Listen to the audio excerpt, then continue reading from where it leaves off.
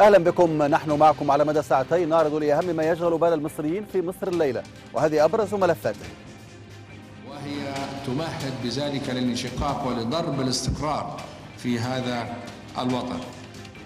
شيخ الأزهر يعقد مؤتمرا يطالب فيه الوعاظ بالتصدي لمظاهرات 28 نوفمبر وما سماه بفتنة رفع المصاحف. والسلطة في حالة استنفار وتعلن تدابير استثنائية. فلماذا التهويل من مظاهرات لن يشارك فيها معظم حلفاء الإخوان؟ ويصر أصحابها على أنها سلمية.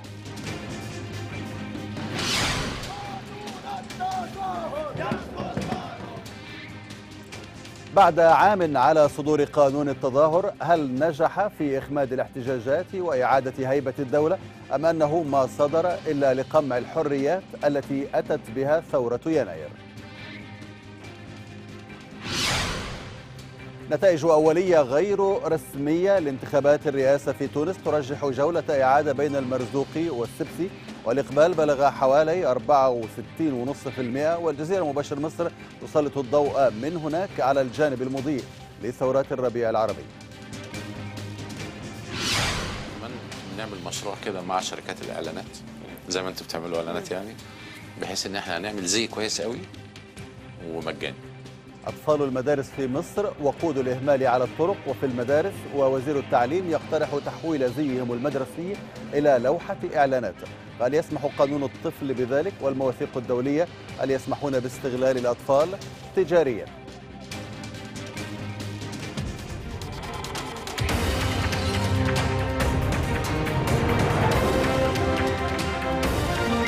شكرا جزيلا. عمر فياض نتحول أيضا سريعا إلى حسام يحيى في مواقع التواصل الاجتماعي ليعرف ويعرض للمشاهدين كيف يمكن أن يتواصلوا معنا في مصر الليلة. حسام. في البداية كل عام وأنت بخير زين. وأنت بخير. وأيضا كل عام وأنت بخير عمر.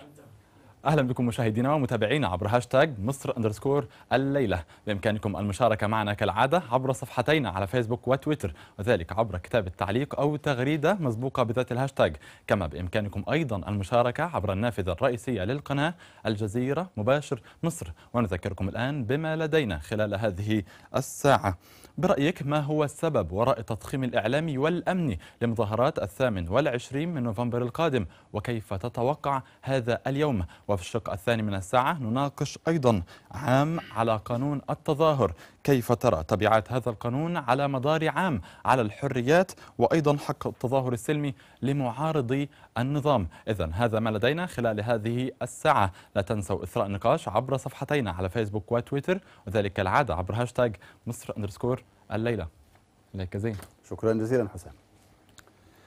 دعوة للتظاهر بالمصاحف يوم 28 نوفمبر أطلقتها الجبهة السلفية وسمتها انتفاضة الشباب المسلم لاستعادة الهوية. لكن السلطة بكامل أجهزتها أعلنت حالة تأهب للمواجهة. تحذيرات تحذيرات وتهديدات من الأمن لمن يشارك رصاص حي بانتظاركم. سيناريوهات الرعب تنشرها الصحف والفضائيات عن أهوال هذا اليوم وكأنه يوم القيامة. وفتح السجون اغتيالات سياسية تدمير سفارات وغيرها من مشاهد الرعب المحتمل التي تخوف منها وسائل الإعلام. حتى إن أحد مقدمي البرامج طالب السيسي على الهواء مباشرة بأن يقتل مليون شخص يوم 28 نوفمبر.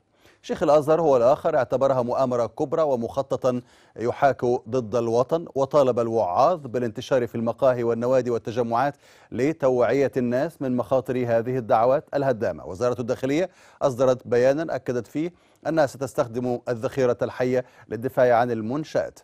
فمن مصلحة من هذا الترهيب والتهويل والنفخ في بالونة 28 نوفمبر إذا كان حلفاء الإخوان ومعظمهم رفضوا المشاركة فيها وإذا كانت الجبهة السلفية التي أطلقت هذه الدعوة تقول إنها ستكون سلمية. دعوة للتظاهر السلمي برفع المصاحف يوم الجمعة المقبل الثامن والعشرين من نوفمبر الجاري. أطلقتها الجبهة السلفية تحولت لحشد مضاد غير مسبوق. وتحذيرات من أعمال عنف وقتل وإرهاب محتمل. مؤسسات السلطة الحالية ووسائل الإعلام التابعة لها تشن حملة مكثفة للتهويل وتضخيم أمر تلك المظاهرات. ويرجع مراقبون سبب ذلك أيضا إلى انتقادات وجهتها شخصيات بارزة في معسكر الثلاثين من يونيو لحكم السيسي. شيخ الأزهر أحمد الطيب أحد أكبر الشخصيات التي ارتبطت بانقلاب الثالث من يوليو استخدم نفس الخطاب الذي استخدمه في تحريم مظاهرات الخامس والعشرين من يناير داعيا الوعاظ للتصدي لما قال إنها فتنة رفع المصاحف معتبرا أنها ضمن المخططات التي تحاك ضد الوطن. وهي تمهد بذلك للانشقاق ولضرب الاستقرار في هذا الوطن. الناس لهم مهمة مكلفين بها وخدوا فلوس وبينفذوها. أين نحن؟ ما إحنا بنديكم فلوس يا اخوانا مش بتاخدوا فلوس كل شهر؟ وزارة الأوقاف من جانبها خصصت خطبة يوم الجمعة الماضي للتحذير من مظاهرات الجمعة المقبلة ونشرت نص الخطبة كالعادة على موقعها الإلكتروني والتزم بها خطباء المساجد. وبالإضافة إلى الإجراءات على الأرض التي اتخذتها السلطة التنفيذية خاصة وزارة الداخلية وتحذيراتها فإن الترهيب الإعلامي أيضا كان على أشده. ووصل إلى حد التحريض على إطلاق النار على المتظاهرين. نزلوا مسلحين يقتلوا. ولا واحد يرجع أنا مش عايز تقبض على حد. أنا في اليوم ده مش عايزك تقبض على مواطن ولا شخص ينزل. على الجانب الإسلامي هناك من يرفض المشاركة في مظاهرات الثامن والعشرين من نوفمبر ومن بينهم الجماعة الإسلامية وحزب الوسط بخلاف جماعة الإخوان المسلمين التي ثمنت دعوة الجبهة. وفي ظل هذا التهويل والترهيب يبدو أن البورصة وفق مراقبين دخلت أيضا على الخط بعد خسائر فادحة منيت بها نهاية تعاملات الاثنين. تجاوزت الاثني عشر مليار جنيه والسبب تخوف المستثمرين من جمعة رفع المصاحف. ولمناقشة هذا الموضوع أرحب بضيفي في استوديو مصر الليلة الكاتب الصحفي الأستاذ محمد القدوسي وسيكون معنا ضيوف آخرون في ثنايا الحوار. تفسيرك إيه لهذا التهويل من 28 نوفمبر؟ وكأنه سيحدث شيء عظيم كبير آه، يعني سيغير مسار آه، مصر ويضرب استقرارها في يوم 28 نوفمبر. الأول لأنه ال- العقلية الأمنية تقول كده. العقلية الأمنية يقول لك ما تقوليش ده عيل صغير ممكن يكون شايل قنبلة كبيرة. ما تقوليش ده خمس تنفار ممكن لو انضربوا وصرخوا ينزلوا 5000 فالعقلية الأمنية ما, ما, ينفعش إنها تفوت الصغيرة. ولا تنسى إن الجزء الأساسي من مؤامرة انقلاب آه 3 يوليو كان الغطاء اللي استخدم في 30 يونيو واللي القائمين على السلطة في ذلك الوقت استهانوا به جدا واعتبروه لا شيء. يعني يعني كان المخابرات شغالة على اتجاهين. الاتجاه الأولاني بتبنج اللي هي مستهدفة إسقاطهم وقد نجحت في ذلك والاتجاه الثاني إنها بتحرك اللي هي مستهدفة آه اللي هي مستهدفة تحريكهم فهي طب مين بيبنج النظام دلوقتي؟ فهي لا محدش بيبنج مش هو مش. عايز يتبنج بقى هو مش عايز هو. آه هو مش عايز يتصرف وكأنه لا هو اليرتد جدا يعني. آه. عارف أنت فكرة إنك أنت عارف إنك عرفت تعمل ده لأنك بنجت اللي قبلك فانت لازم هتبقى عارف زي عبد الناصر ولا. يبنج المؤمن من جحر مرتين. أي. عبد الناصر مثلا لأن هو اللي كان بيقرأ وبيعمل هو كان هو يوسف صديق وخالد محي الدين اللي كانوا بيقروا كده في وسط ضباط الأحرار. فهو في- عرف سكة الثقافة والقراءة والكتابة دي قطع روسه ما حدش يجيني بثقافة بعد كده. ما حدش يجيني بكتاب بعد كده. طيب إذا كان إذا كان العدد اللي هيطلع محدود هم تقديرهم كده يعني. وإن دي يعني آه، آه، وإن الإخوان يمكن ينزلوا وممكن ما ينزلوش الله أعلم. آه. هم بيدعموا التحرك ده بس ما ما قالوش. وإذا نزلوا اديهم بينزلوا اديهم سنة ونص. أيوه. إيه الخطر؟ الخطر يحصل من إيه؟ شوف يا. الخطر جاي منين؟ شوف من. مسألة لأنه العنصر الجديد بس هو المصاحف آه، آه. والشباب المسلم. إيه, إيه الخطر هو في ده؟ اللي هو ده بقى. آه. فكرة إنك أنت مدخل concept جديد مدخل مفهوم جديد بتقول إن المسألة مسألة هوية ومسألة إسلام. آه. الأول هل ده طب وده هينزل الناس من بيوتها يعني مش لا مش كده فكرة ال concept أنت بتطرح بترمي concept جديد في عنصر خلاص غائب. عليك إرهابي ودب دب آه. هو شوف بقى هيقول آه. آه. عليك إرهابي ليه اصبر عليا بقى آه. آه. هي دي المعضلة برضه آه. هو هيقدر إنه يجنجح شوية آه. بس يعني إيه جنجح دي؟ يعني آه، يعني يعني أنا مش عايز أقولها الثانية لأنها هتنسبك لمنطقة في مصر. يعني يقول أي كلام. آه. آه. يعني عارف أنت فكرة رفع الصوت والبتاع وال- اللي هو بيعمله ال- الإعلام بتاعه دلوقتي. هيقدر إن هو يجنجح كده شوية. لكن مش هيقدر إنه يثبت كلام. ليه؟ لأن أنا كان عندي مثلا في مسبيرو اترفعت الصلبان. ومحدش قال إن ده ده تفريق للأمة ولا مش عارف إيه ولا حاجة. التظاهر في بس الاصل حتى رفع الصلبان لم يمنع من إنه يفض اعتصام ماسبيرو مفهوم. وإنه يموت ناس من, مفهوم لا من, أنا ال- بتكلم من المتظاهرين. أنا بتكلم على اللي هو ويداس عليهم بالمدرعات. أنا يعني بتكلم والصليب كان على الأرض. يا, سيدي على راسي. آه. وده- كان أنا عايز أقول لك على حاجة. هو المصحف اللي هو مجموعة من الأوراق أكثر قداسة من المسجد اللي اتحرق ولا أكثر قداسة من روح الإنسان وجسده الذي انتهك لزوال السماوات والأرض اهون عند الله من سفك دم امرئ مسلم. اذا ال- اللي سفك دماء الناس واللي حرق المساجد مش هيصعب عليه إنه يدوس على مصحف يعني. لكن هي الفكرة إنه شايف إن زي ما بقول لك كده في concept جديد هو مش عايز ال concept ده يتحط على الأرض خالص مش يعني يعني هو بيحاول إنه يحذف من العناصر اللي بتواجهه. فبقول لك هو لما جت المصاحف اترفعت ال- ال- الصلبان اترفعت ما حدش قال دي طائفيه ليه؟ فكرة التظاهر فكرة أنك تعبر عن رأيك كما تراه وعن موقفك كما هو كما أنت عليه. ما هو هو هو صو مش هيخاف من إنك أنت رافع المصاحف أو مش رافع المصاحف. آه. هو يخاف إن أنت تنزل وينزل معك الشعب. هو شوف يا عزيزي هل هل 28 نوفمبر في أي فرصة آه. إن الشعب المصري ينزل؟ نعم علشان يؤيد هذه بسم الله هذه الرحمن المظاهرات؟ الرحيم بسم الله الرحمن الرحيم الإجابة نعم. ليه بقى؟ مش ممكن مش 28 نوفمبر ممكن آه. 28 يناير ممكن 28 نوفمبر السنة اللي بعدها.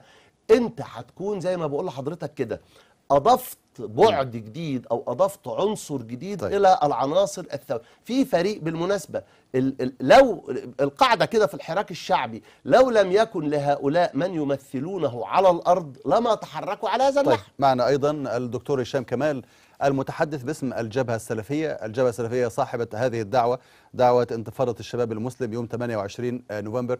آه، اولا السلطة هل اتصلت بكم وحاولت إثناءكم عن هذه الدعوة؟ الحمد لله والصلاه والسلام على رسول الله وعلى الصلاة وصحبه بعد محمد السوسي الكرام. الأمر الثاني طبعا السلطة لم تحول للسلطة اطلاقا بل كل ما تحوله السلطة الآن في هذه الأونة آه، آه، الضرب آه، عنيف جدا سواء بالاعتقالات أو بتكسير ال- البيوت وسرقه محتوياتها والنهارده لسه اعتقلوا خمسة من قادة آه، الجبهة السلفية أها. من أحد الاماكن مدينه مصر كانوا مستعدين في اجتماع رفض بعض الشبهات اللي بتطلق علينا والقول علينا بارهابيين وكذا وبالتالي دي السلطه اللي بتتعامل بيه لا تتعامل باتصالات ولا بغيره ولا تتعامل طيب يعني لا. توجد لا توجد يعني السلطة الطبيعي إنه لما يكون في مظاهرة حسب قانون التظاهر حتى إن المفروض وزير الداخلية يحاول يقول لكم طب إيه المشكلة؟ طب ما تيجوا نحلها ما ده ما حصلش مش كده؟ ما حصلش لأن قانون التظاهر بيقول كده. أنت حضرتك بتتكلم حد بتتكلم بتحام أصلا في القانون. هو أساسا نحن لا نعترف بهذا القانون المشوه المشهور اللي اسمه قانون تظاهر بس هو بيعترف بيه. يعني هو السلطة بتعترف بهذا القانون. يعني المفروض على الأقل يتصلوا بيكم يعرفوا أنتوا طب أنتوا زعلانين ليه؟ يعني مين اللي حرق المصاحف مثلا عشان تنزلوا ترفعوا المصاحف؟ على الأقل يسألكم السؤال ده. لا إحنا مش مساله مين اللي حرق المصاحف عشان تطلعوا في المصاحف. هو ولا فكره مين اللي حرق؟ أيوه في في مصاحف اتحرقت في مصاحف ضيف عليها في مصاحف اترمت من نفس السجون آه، وضباط أمن الدولة دفعوا عليها. بغض النظر عن هذه الأمور ال- التي تحدث من هذه القوات القمعيه الكارهة في شعائر الإسلام وشرائعه آه، ولكن هناك حرق للمساجد هناك تشويه لكل ما هو إسلامي هناك منع لل- للدعوة في المساجد هناك آه، إظهار استطاعات الموالين لهم فقط هناك إظهار لعلماء السلطة هناك تشويه لكل ما هو شرعي أو شرعي. هناك مساحات كبيرة جدا لكل ما هو لاتيني عسكري هناك وظائف مثلا زي النملة من علماني اللي قال إن هم اسمح لي اسمح لي أستاذ هشام كمال اس- اسمح لي سنعود إليك. لكن نتحول الآن نتحول الآن إلى العاصمة الإيطالية. نتحول الآن مشاهدينا إلى العاصمة الإيطالية روما حيث المؤتمر الصحفي الذي يعقده آه، السيسي. نكتفي اذا بهذا القدر من مؤتمر آه، السيسي ورئيس الوزراء الإيطالي في آه، روما آه، في خلال زيارته الحالية لإيطاليا والفاتيكان وجولته الأوروبية التي ستشمل أيضا آه، فرنسا بعد ذلك. آه، وطبعا لمن يريد أن يتابع هذا المؤتمر فهو آه، سيكون بإذن الله على آه، قناة مباشر العامة الجزيره مباشر العامة.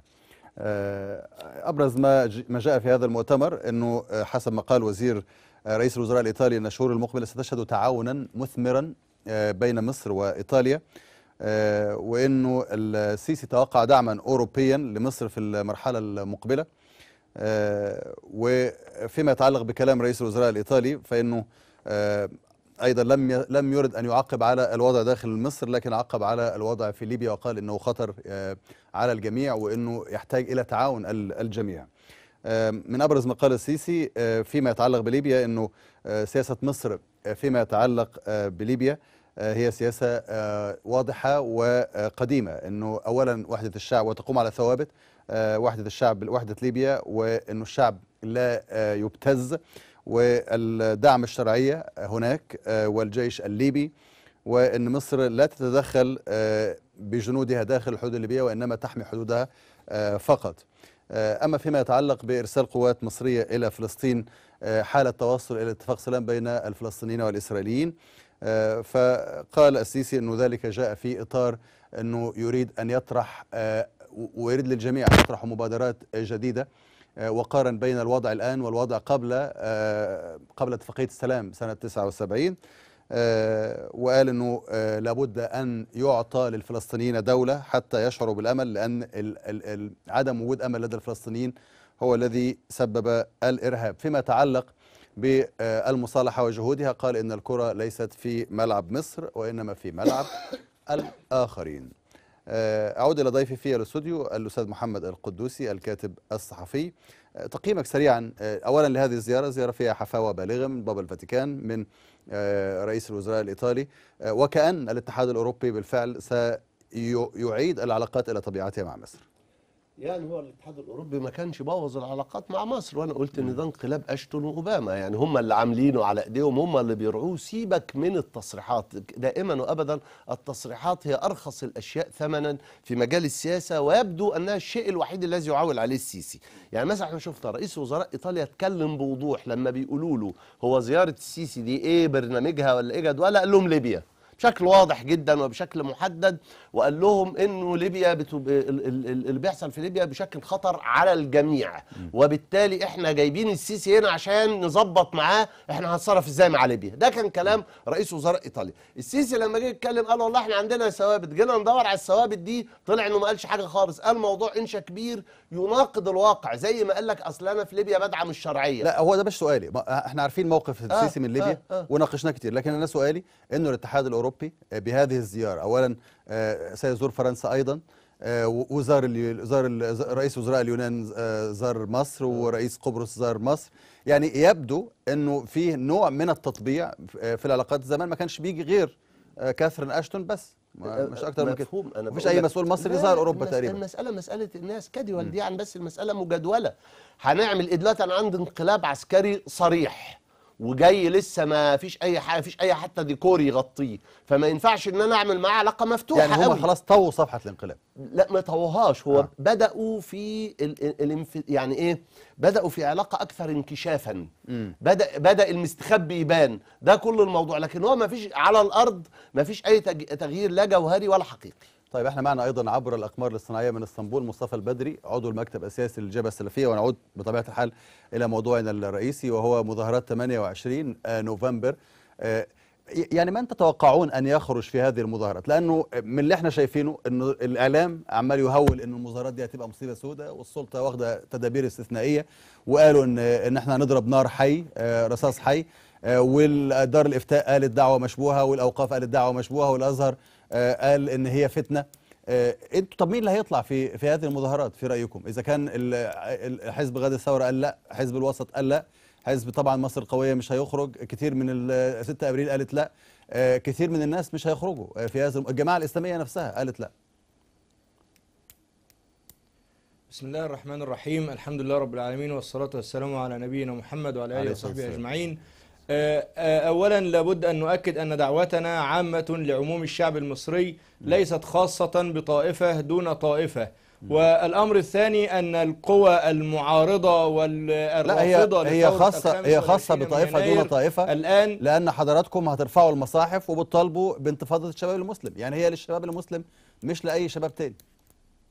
فهي نحن- لطائفة دون طائفة. نحن آه، سنرفع المصاحف نحن سنرفع المصاحف ردا على من قال أننا سنرفع السلاح لكن قد استجاب يعني آه، بعض المسيحيين لهذه الدعوة لأنهم يعلمون أنها ليست طائفية استجاب الليبراليون كذلك لهذه الدعوة لأنها من ليست؟ دعوة طائفية يعني من وأنا استجاب؟ أريد أن أؤكد أن من الثورة استجاب لهذه الدعوة يعني هل استجاب لنا الاستاذ ال- المهندس المهندس هاني سوريال المهندس هاني سوريال أعلن استجابته لهذه الدعوة المهندس هاني سوريال مقيم في العرابي، أستراليا، غير مقيم في أعلنت مصر. استجابتها المهندس هاني سوريال مقيم في استراليا هؤلاء هؤلاء يعني مقيم في ه- مصر. ه- هؤلاء هؤلاء ليسوا من الشباب المسلم وهؤلاء استجابوا بس ده ولو يعني- حتى يعني معنويا. أي فهذا إن في دل دل على أن الأمر ليس ما طائفيا هو اسمح لي ما هو يعني إحنا بنتكلم على مصر. مصر مين اللي استجاب؟ فين الشباب الليبرالي اللي يعني في استجاب معاكم؟ مصر الآن عندنا تنسيق عندنا عندنا تنسيق مع مجموعات كبيرة جدا يعني آثرت ألا تعلن عن نفسها خوفا من الضربات الأمنية التي تحدث الآن والتي تنال الجبهة السلفية منها النصيب الأكبر. لكن حتى بعض الجماعات التي أعلنت أنها لن تشارك شبابها يساهم معنا وينسق معنا وسيكون موجودا في الشارع. اليوم الذي سيكون مفاجأة للجميع بإذن الله تبارك وتعالى. طيب، إيه- إيه- يعني إيه- إيه- أؤكد أنها إيه- ليست طائفية وليست يعني طيب إيه اتفضل. احتياطاتكم أنتم حتى لا تحدث مجزرة كمجزرة رابعه العدوية ونهضة مصر ومجزرة رمسيس ومجزرة 6 أكتوبر؟ يعني يعني يعني حدثت مجازر كثيرة في العام ونصف الذي مضى. إيه اللي يمنع انه يحدث تحدث مجزرة جديدة وينصرف كل الناس إلى حال سبيلهم؟ لكن آه، لن ينصرف يعني أشخاص آخرون سيقتلون في هذا اليوم نتمنى ألا يحدث ذلك لكن هؤلاء لن يعودوا إلى أهلهم إيه اللي هيحصل غير أن بعض الناس لن يعودوا إلى أهلهم في هذا اليوم؟ أول هذه الاحتياطات أننا لا نعلن عن خطتنا كاملة حتى لا تقع في أيدي آه، يعني ميليشيات الأمن وتبدأ تتعامل معها. عندنا الحمد لله تنسيق كامل مع قيادات ميدانية. ستقوم ببعض أمور معينة. سيكون لها تأثير في أن تتصدى لميليشيات الأمن وأن تمنع يعني ميليشيات الأمن من أن تقتل المتظاهرين أو أن تفض التظاهرات. وقد يكون. من ضمن ذلك ألا تعلم أصلا ميليشيات الأمن. تمام نعم لكن, لكن الأمن معاه رشاشات أنتوا معاكم؟ أنتوا هت- هت- هتواجهوا معنا الأمن؟ آه، هل كتاب الله تبارك وتعالى بالرشاشات؟ نؤكد على أن ثورتنا سلمية وأن السلمية هي خيارنا الاستراتيجي لإنجاح هذه الثورة يعني هذا أمر مفروغ منه ولا ولا داعي لتكراره لكن هذا من باب التأكيد الأمر الآخر أن الثورات مهما قدمت من تضحيات تنجح في النهاية بالحشود الشعبية وبالطوفان البشري الذي يواجه مثل هذه الرصاصات وهل الذي سيبدأ بإذن الله بشكل وهل جديد يوم الثامن والعشرين من نوفمبر الجاري وهل تتوقعون طوفانا بشريا في 28 نوفمبر؟ نعم يعني بإذن الله نحن وجدنا تفاعلا كبيرا جدا عبر مواقع التواصل الاجتماعي. نجد الآن تواصلات من كل الاتجاهات ومن كل التيارات حتى يشاركوا في هذه في هذه الانتفاضة. نحن عندنا يقين في الله تبارك وتعالى أن ميليشيات الأمن لم تتحرك بهذا الشكل إلا لأنها متأكدة من أن الشارع سيمتلئ وأن أعداد كبيرة وضخمة ستكون في شوارع وميادين مصر يوم الثامن والعشرين من نوفمبر المقبل. أشكرك شكرا جزيلا. آه، المتحدث عضو المكتب السياسي للجبهة السلفية الأستاذ مصطفى البدري كان معنا عبر الأقمار الاصطناعية من إسطنبول. نشوف أيضا مشاهدينا عبر مواقع التواصل الاجتماعي. إيه توقعاتهم كمان ليوم 28 نوفمبر وهل شايفين أن الحملة التخويفية من هذا اليوم مبررة ولا غير مبررة؟ حسام يحيى زين تعليقات متضاربة جدا بين التخوف من اليوم واعتباره يعني بالونة أمنية خصوصا أنه بيأتي قبل يوم واحد فقط من جلسة النطق على مبارك. وما بين الآخرين اللي شايفين اليوم ده خطوة هامة جدا في معارضة الانقلاب العسكري. نذهب الآن إلى فيسبوك ونبدأ بأحمد عبد اللطيف. بيقول عايزين يصنعوا بالونة أمل للشعب الثائر وبعدين تفرقع مع انتهاء اليوم ويتصدم الشعب وييأس فجأة ويبطل مظاهرات. ده رأي أحمد ومنه إلى تعليق آخر لأماني. يوم ثوري بامتياز وليس نهاية المطاف والإعلام يعمل على تضخيمه حتى إذا بقى بالفشل يحدث رد فعل عكسي وخيبة أمل. ده توقع أماني أحمد حسونة بيقول يوم 28 الأربع صوابع هتطلع لها ضوافر. بالطبع يعني الكثير من المشاركين خلال اليوم بينفوا الكلام ده. مجدي بترد على أحمد بتقول عشان لو قاموا بقمعهم وقتلهم يكون هناك من يتفهم ذلك وأنه بسبب دعوات العنف وهذا لم يحدث بل هي مظاهرات سلمية. وننتقل إلى تويتر.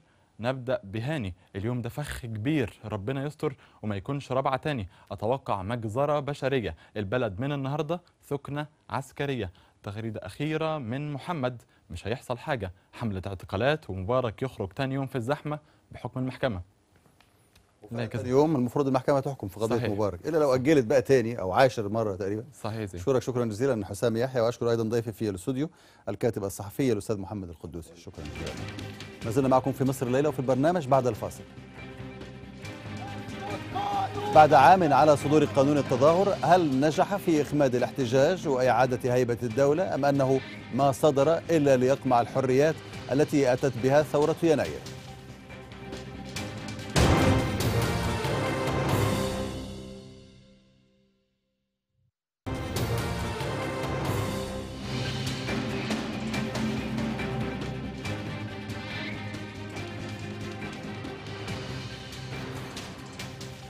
أحرام على بلابله الدوح حلال للطير من كل جنس.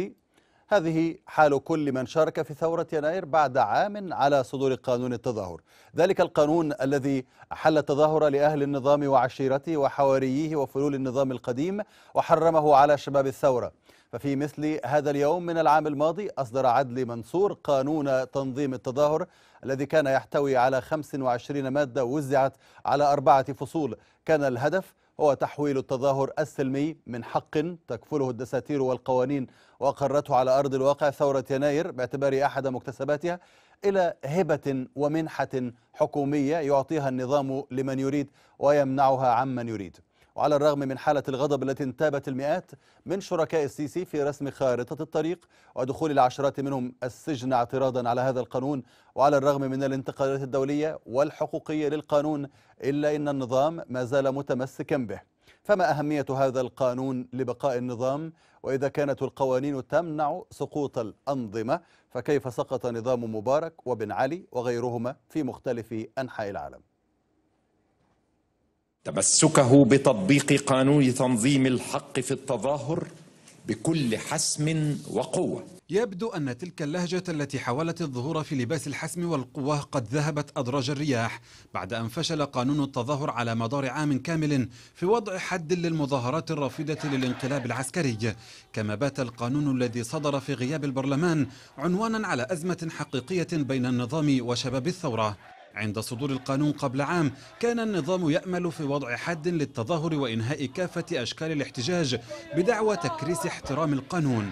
هيبة الدولة كانت الشعار المعلن لتبرير تقييد الحق في التظاهر. هذه آه، لحظة اختبار لهيبة الدولة اختبار لقوة الحكومة اختبار لمدى آه، تعاطف وقوة الشعب المصري في حماية بلده. القانون استهدف بداية المظاهرات الرافضة للانقلاب العسكري من جانب أنصار الرئيس المعزول محمد مرسي. أصبح بعد ذلك على رافضي الانقلاب أن يطلبوا من الداخلية التي تلاحقهم الترخيص لهم بالتظاهر. القانون ده معمول للإخوان. بعد صدور القانون نظمت مجموعات شبابية وحركات ثورية محسوبة على ثورة يناير وقفات للتعبير عن رفضها لتقييد الحق في التظاهر. النتيجة الفورية كانت السجن لمجموعة من القيادات الشابة في مقدمتهم مؤسس حركة السادس من إبريل أحمد ماهر إضافة إلى النشطاء محمد عادل وعلاء عبد الفتاح وأحمد دومة القانون إذن استهدف الجميع وإن بدأ بالإخوان. وشيئا فشيئا أحدث فجوة متزايدة بين شباب الثورة والسلطة. القانون اشترط تقديم منظم التظاهرة طلبا لوزارة الداخلية على أن يشمل الطلب الأعداد والزمان والمكان وأسماء المنظمين مع فرض عقوبات صارمة على المخالفين بين السجن والغرامة كما يتيح لقوات الشرطة استخدام القوة. ورغم رفض معظم القوى الثورية له فقد جرت محاولة فرض القانون بدعم من قادة وأنصار الانقلاب. أخيرا أخيرا الحكومة صحيت. يا امن وطلعت قانون التظاهر. فعلوه وبالجزمة. يؤكد الحقوقيون أن القانون بالإضافة إلى عدم دستوريته قيد الحريات العامة التي قامت من أجلها ثورة يناير. تحول القانون إلى مادة للسخرية. ألو الشرطة؟ أيوه يا حبيبي. ممكن أعمل مظاهرة؟ امشي يلا امشي. شكرا. السيسي وقبل توليه السلطة رسميا اعتبر القانون ضرورة للقضاء على الفوضى. أمر في مصر لن يستقيم وإن التحديات اللي موجودة في مصر لن تستقيم بحالة الفوضى اللي موجودة بالشكل اللي كان موجوده فيه. وكان أحد أدوات ضبطه هو قانون التظاهر. القانون ما لبث أن تحول إذن إلى أزمة سياسية ودستورية بعد أن أصبح شوكة في حلق الثوار وصداعا مزمنا في رأس النظام. بات القانون مؤشرا على أول تصدع حقيقي في جدار ما يعرف بتحالف الثلاثين من يونيو. ولمناقشة سنوية قانون التظاهر أرحب بضيفي في استوديو مصر الليلة أحمد مفرح مسؤول ملف مصر في منظمة الكرامة لحقوق الإنسان. أهلا وسهلا بك. ومعنا أيضا الأستاذ عمرو عبد الهادي آه، الناشط السياسي وعضو جبهة الضمير والمحامي. حاجات كتيرة يعني. أهلا وسهلا بك آه، سنة مرت على قانون التظاهر. آه، هل يمكن القول عمرو عبد الهادي أن القانون نجح فعلا؟ في أنه يجعل التظاهر مخاطرة كبيرة. آه، يحسب لها ألف حساب وتجعل الناس تتردد إن هي تنزل الشارع ترفع ورقة حتى. نجح ولا ما نجحش؟ لا يعني هو خليني أول أقول إن النهارده ثلاث ضربات في الراس توجع يعني خطاب السيسي وثانوية قانون التظاهر وعيد ميلادك فيعني آه يعني بالراحة علينا النهارده عيد. ميلادي مش ضربة. يعني أنت مستقصدنا كمان في عيد ميلادك الوقت خلص لا يعني هو طبعا لا طبعا هو آه، ما نجحش طبعا آه، إنما أنا كان ليا مداخلة عندكم وأنا كنت في مصر في وقتها وقت خروج قانون التظاهر. التظاهر وقلت هذا قانون التظاهر غير مقصود به ابدا مؤيدي الشرعية وأنصار الدكتور محمد مرسي. هو مقصود به الطرف الآخر اللي هو آه، آه، ال- النشطاء وغيره والنشطاء الموجودين في الجمعيات الأهلية وغيرهم. وده فعلا اللي بان لأن كان آه، المؤيدين الشرعية كانوا بيحاكموا ب- بقانون الإرهاب وبقوانين أخرى و- آه. وقوانين عسكرية واللي يحل عسكريا واللي يحل غيره. فلا يعني هو قانون التظاهر كان مقصود به فعليا هي الفئة ال- التي كانت طب هو إذا كان ما منعش متخوف التظاهر من عودتها. طب إذا كان ما منعش التظاهر كان لازمته إيه؟ آه يعني يعني يعني اللي طلعه أكيد عارف هو هيستخدمه إزاي. آه طبعا طبعا استخدمه إزاي بقى؟ يعني هو آه، لا أنا شايف إن هو فشل تام في استخدامه. بدليل مثلا إن هو يمكن أنا كنت بتكلم مع الأستاذ أحمد قبل آه. يعني قبل الهوا يعني حتى ويك الثورة كان تقريبا 1500 اللي اتحاكموا لغاية الآن آه. على الجانب الآخر مؤيدين الشرعية إحنا عندنا تقريبا العدد يمكن الأستاذ أحمد يصلح لي آه، حوالي 40000 معتقل آه. فإحنا إحنا يعني أمام إيه إن أمام إن نشطاء آه، ممكن النشطاء دول بيعاملوا شوية بدولة القانون فخرج لهم قانون التظاهر ولم ي... ولم يستطيع طيب. يعني التعامل به بدليل إن أحمد ماهر وأحمد دومة لا زالوا طبعا قيد ال- المحاكمة يعني. إحنا معنا أيضا عبر الهاتف من القاهرة أسعد هيكل عضو تحالف العدالة الاجتماعية وعضو لجنة الحريات بنقابه المحامين. أستاذ أسعد أهلا وسهلا بك. في اعتقادك آه، يعني القانون ده حقق إيه ماذا حقق هذا القانون لمصر؟ إحنا عايزين شرع ربنا. عايز أنا اكل عيش وابني ياكل عيش. ماليش دعوة بقى يمسك الكيس أستاذ أسعد هيكل. إحنا كمان عايزين يا فندم. إحنا عايزين ناكل عيش. فأرجوك جاوب على السؤال بتاعنا لو سمحت. شوف يا أستاذ زيد يعني أنا أنا مع الناس في الشارع حاليا. آه تمام. ما إحنا أنا لاحظنا يا بحب أسمع آراء الناس. فأنا قلت له والله اللي أنت هتقوله أنا هبلغه لقناه الجزيرة. طيب. فالراجل معايا بيقول لي إحنا عايزين ناكل عيش مش فارقة معانا مين يمسك مين يحكم إحنا عايزين ناكل عيش وعايزين استقرار في البلد. كل الناس عايزة كده. أنا متأكد من هذا. لكن خليني اخد من دي مدخل يعني واقول إن إحنا فعلا مبدأنا إن إحنا يعني معارضين لقانون التظاهر ودينا عليه تحفظات كثيرة جدا. منذ أن صدر وابدينا هذا الموقف في بيان رسمي ولكن خليني في الحقيقة أقول إن إحنا كنا حققنا خطوات إيجابية نحو تعديل هذا القانون وأخذ ملاحظات المجلس القومي لحقوق الإنسان في الحزبان وأخذ ملاحظات القوى الوطنية والقوى هو الحزبية. يعني إحنا الحقيقة مش بنناقش تعديله دلوقتي لأنه ما فيش أي خبر عن تعديله لسه يعني ما- حصلش. لكن أنا أنا بسأل سنه سنة دلوقتي إحنا يعني تقدر تقول عاملين محاكمة لقانون التظاهر. سنة دلوقتي مرت على قانون التظاهر. ماذا حقق هذا القانون للدولة المصرية؟ يعني شوف هو يعني في جزء إيجابي وفي جزء كبير سلبي عشان نكون منصفين. الجزء السلبي ان بالبلدي كده وببساطة شديدة. في ناس راحت في الرجلين في, في مظاهرات آه التي اللي بيدعي الإخوان فيها إن هم عايزين عوده الشرعية وما إلى ذلك. أو حتى المظاهرات اللي هي منتظر حدوثها ما يسمونها ثورة إسلامية ضد الكفار. ثورة إسلامية يبقى ضد مين يعني؟ ما تبقى ضد الكفار.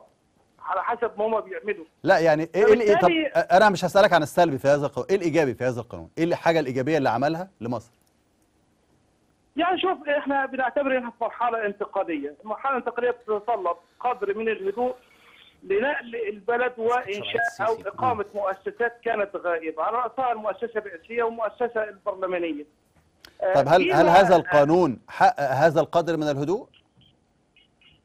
مش هقدر أقول كده بس أنت مش هتقدر إنك أنت تشيل من حسبانك أنا هناك فصيل خرج عن الإجماع الوطني هو فصيل جماعة الإخوان المسلمين اللي لسه بينزل في الشارع وفي الحقيقة بيأثر سلب في المكاسب اللي حققتها القوى الوطنية وعلى رأسها مناهضه هذا القانون والدعوه إلى إلغاء. يعني هم حتى مش مدينا فرصة إن إحنا نقدر نخاطب السلطة نحو إلغاء هذا القانون أو تعديله بما يتمشى مع الواقع المصري.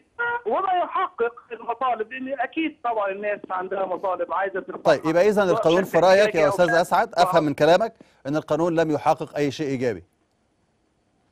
ما أقدرش أقول كده وما أقدرش أقول إن ال- القانون ما حققش شيء. إيجابي لكن أقدر أقول إن آثاره السلبية انعكست بشكل يعني غير مرضي على الواقع المصري. أشكرك شكرا جزيلا الأستاذ اسعد هيكل عضو لجنة الحريات بنقابة المحامين. أشكرك شكرا جزيلا. معنا أيضا عبر سكايب من القاهرة محمد مصطفى عضو المكتب السياسي لحركة 6 أبريل. محمد أهلا بيك. معنا عبر الهاتف من القاهرة. محمد محمد مصطفى هل أنتوا ك 6 إبريل معتبرين القانون ده أثر بأي شكل من الأشكال على حرية التظاهر في مصر؟ هو ال- الهدف من القانون زي ما قال ضيفك العزيز في الأساس هو كيفية التخلص من النشطاء آه، السياسيين والنشطاء المدنيين وما يسمى شمام الثورة هو هو ده الهدف الرئيسي منه والقبض على بعض رموز آه، هذه القوى وطبعا يعني آه، لا يخفانا حديثا ومش حد ما حدش يعرف يعني ما إزاي نجح في كده ولا ما نجحش؟ عليهم بموجب هذا القانون هل نجح في ذلك ولا لم ينجح؟ لا لا أنا أنا شايف إن هو هو هو بنسبة كبيرة جدا لم ينجح في ده لأن لغاية آه، أول امبارح لغاية يوم محمد محمود كان. الشباب برضه مصرين وبينزلوا يتظاهروا وبينزلوا يتظاهروا في الأماكن اللي بيقولوا عليها ومفيش. أي مشكلة وده أنا. عندي بقى مشكلة أكبر كمان النهارده النهارده بي بيقول للناس انزلوا تظاهروا بقانون التظاهر. إحنا كان عندنا من 10 أيام بالظبط عمال شركة اسمها شركة بترو تريد آه آه، عمال الشركة دول أصدروا تصريح إن هم هيروحوا يتظاهروا عند الاتحادية. أشكرك شكرا. جزيلا. شكرا جزيلا. محمد مصطفى عضو المكتب السياسي لحركة 6 أبريل. أحمد مفرح آه، مسؤول ملف مصر في منظمة الكرامة لحقوق الإنسان منذ قانون التظاهر. كم عدد من اعتقلوا بموجب هذا القانون؟ آه، بسم الله الرحمن الرحيم. يعني هو ما فيش تقدير رسمي لكن التقدير التقريبي أن هناك أكثر من 1500 شخص تم اعتقالهم آه، وأدخل منهم 309 أشخاص للمحاكمة حتى الآن. آه، كان طبعا المحاكمات اللي تمت خلال الفترة الماضية كان أقصاها الحكم الصادر ضد علاء عبد الفتاح وال 24 معاه بالسجن 15 سنة. وبعديها على طول كانت الأحكام الصادرة ضد يارا أحكام مش مش موجب مش بموجب قانون التظاهر. لا بموجب قانون التظاهر. آه. بموجب قانون التظاهر. التهمة الرئيسية لعلاء عبد الفتاح في هذه القضية هو التحريض على التظاهر. آه. التحريض على ودي فيها في 15 أحداث- سنة حسب القانون أعطى- حسب نص القانون نفسه. اعطى يعني هو يعني هي من ضمن التهم هي التهمه الرئيسية لكن هناك تهم أخرى تم القاضي عمل على إصدار الأحكام بخصوصها. لكن طبعا هناك الحكم ال- الغريب جدا الصادر ضد الأختين رشا آه، وهند آه، آه، منير 25 سنة كان من ضمن الأحكام. كان من ضمن بس ده التهم كانت أيضا تهمة التظاهر. لأنهم تظاهروا بتقول حاجات ثانية آه لا هو هي لسه من التهم ينظر فيها لأن القاضي. قانون التظاهر ما فيهوش هذه العقوبات المغلظة اللي لا هو قانون 15 سنة التظاهر قانون و25 التظاهر فيه سنه عقوبات مغلظة. آه. لكن هذه هذه العقوبات يعني بجانب هذه التهمة تهمة التظاهر أو التحريض على التظاهر هناك العديد من التهم الأخرى التي التي تعطيها النيابة العامة أو تفرضها النيابة العامة في التحقيقات حتى يصير القاضي بها يعني قانون آه القضية كلها القضية لكن في الأساس يعني التهمة اللي هي تهمه التحريض على التظاهر أو التظاهر آه، آه، منذ قانون التظاهر في- آه، آه، يعني 1500 من حوالي كام معتقل؟ لا نحن نتحدث عن هذا هو الرقم التقريبي. التقريبي في الذين تم اتهامهم بشكل مباشر بالتحريض بال بال بال بالاتهامات فيما يخص قانون التظاهر. أشكرك شكرا جزيلا. آه، مش عارف عندنا وقت نشوف آه، فقرة آه، آه، آراء المشاهدين ولا لا؟ عندنا. اتفضل حسام. نعم زين. عندنا وقت قليل. صحيح. حالة إجماع على رفض قانون التظاهر هناك أكثر من هاشتاج بيحمل اسم يسقط قانون التظاهر بالإضافة إلى صفحات عديدة ضد القانون ويتجاوز أعداد متابعيها عشرات الآلاف. نذهب الآن إلى فيسبوك مصر الليلة ونبدأ بمحمد حامد بيقول قانون التظاهر شماعة عشان القوى اللي كانت عاملة نفسها ثورية تبطل تنزل الشوارع وتقول غصب عننا. تعليق آخر من إسلام اللي مش عاجباه البلد يمشي منها وأرض الله واسعة. يعني ما تتظاهرش اخلع على طول. من رأي إسلام وأيضا تعليق آخر من عز. لابد من قانون التظاهر لمنع الإخوان من إفساد النظام والعربدة باسم الحرية. وجهة نظر عز ومنها إلى تويتر. علي حسام ولو عملوا ألف قانون وقانون برضو مش هنسيب حق الشهداء والمعتقلين مكملين لآخر نفس. التغريدة الأخيرة للمرشح الرئاسي السابق حمدين صباح بيقول قانون التظاهر ظالم إنسانيا باطل دستوريا وغبي سياسيا. لم يوقف العنف ولم يحقق الاستقرار. أشكرك شكرا جزيلا. مش مصدق نفسي. الحمد لله. أشكرك شكرا جزيلا. حسام يحيى. آه كده في خمس احداث الآن.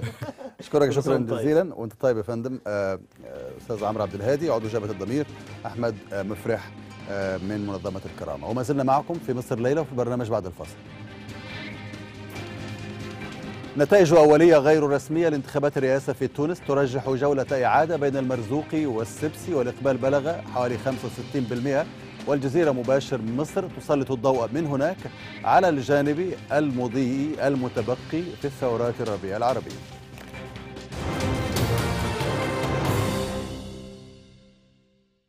وهي تمهد بذلك للانشقاق ولضرب الاستقرار في هذا الوطن.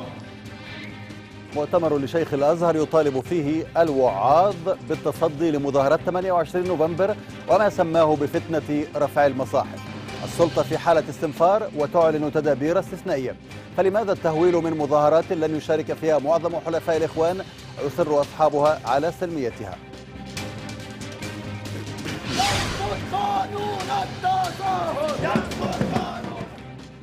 بعد عام على صدور قانون التظاهر هل نجح في إخماد الاحتجاج وإعادة هيبة الدولة؟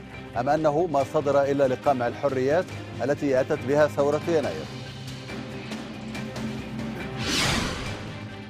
نتائج أولية غير رسمية لانتخابات الرئاسة في تونس ترجح جولة إعادة بين المرزوقي والسبسي والإقبال بلغ 64.5% والجزيرة مباشر مصر تسلط الضوء من هناك على الجانب المضيء للثورات بعد تعثر الربيع العربي. نعمل مشروع كده مع شركات الإعلانات؟ زي ما أنتوا بتعملوا إعلانات يعني بحيث إن إحنا هنعمل زي كويس قوي ومجاني. أطفال المدارس في مصر من وقود للإهمال في الشارع وفي المدارس إلى لوحات إعلانية وفق وزير التعليم. ماذا يقول القانون في ذلك؟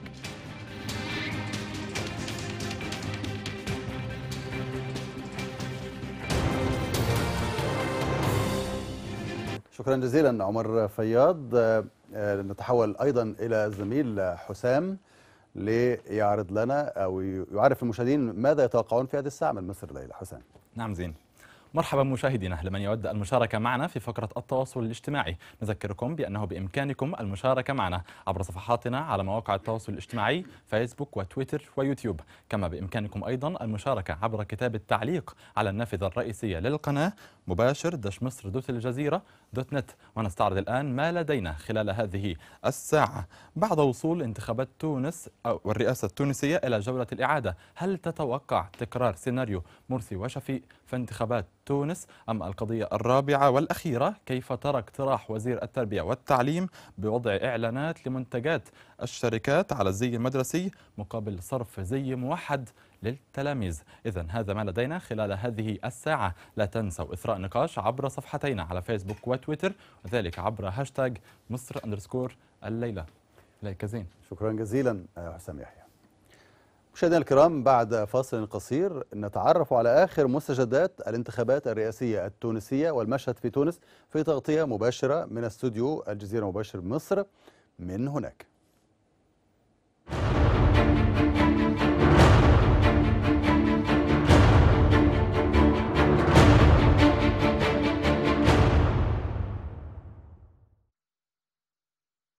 بحر السياسة في تونس يتحرك بنشاط الآن بعد النتائج الأولية غير الرسمية لانتخابات الرئاسة التونسية.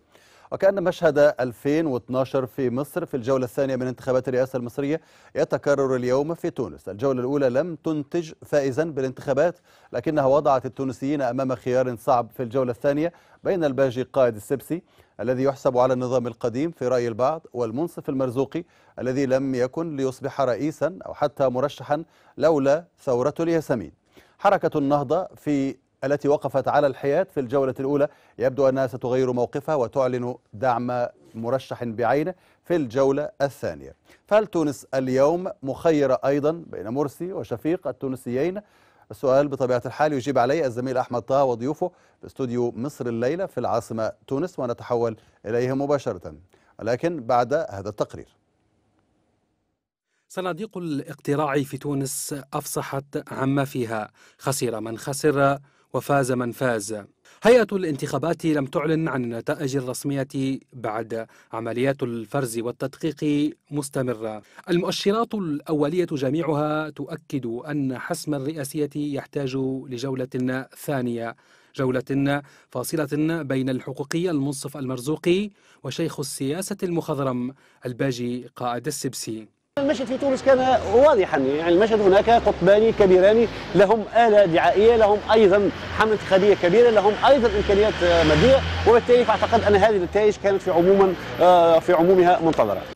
نور الدين المباركي المحلل السياسي والكاتب الصحفي لا يرى أي نفع للبرامج الانتخابية للمترشحين في جولة الإعادة. في الجولة الثانية أعتقد أن النقطة الرئيسية سوف لن تكون البرنامج الانتخابي سوف لن تكون الشعارات الانتخابية إنما ستكون قدرة كل مترشح على ضبط تحالفات مع الكتل الانتخابية التي انسحبت من الانتخابات الرئاسية. اليوم على الأقل الكتل التي حصلت على نسبة معينة ونسبة محترمة من الأصوات نذكر الجبهة الشعبية التي ترشح السيد محمد الهمامي وحصل على نحو 10% من الأصوات.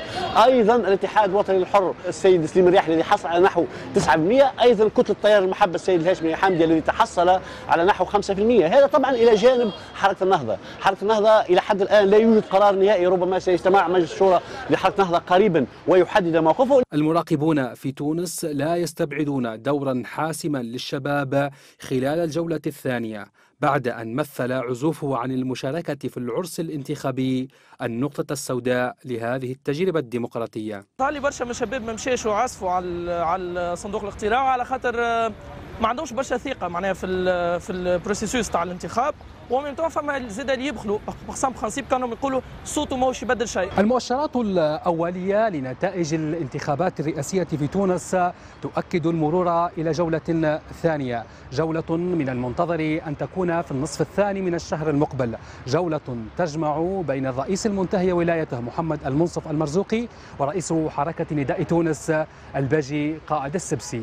فلمن ستكون الغلبة؟ رضا البغدادي الجزيرة مباشر مصر تونس. شكرا للزميل رضا البغدادي مشاهدونا عبر مواقع التواصل الاجتماعي التعليقات اللي جاية لنا بتقول إنه تونس مخيرة بين شفيق ومرسي التونسيين. هل الوضع كذلك؟